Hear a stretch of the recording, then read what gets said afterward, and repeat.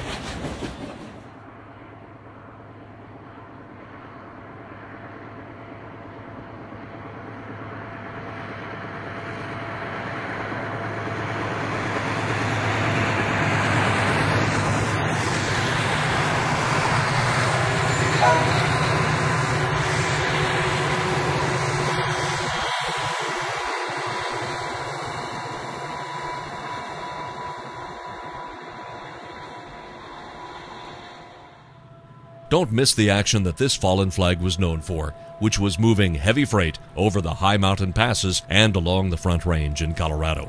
This is the Denver and Rio Grande Western.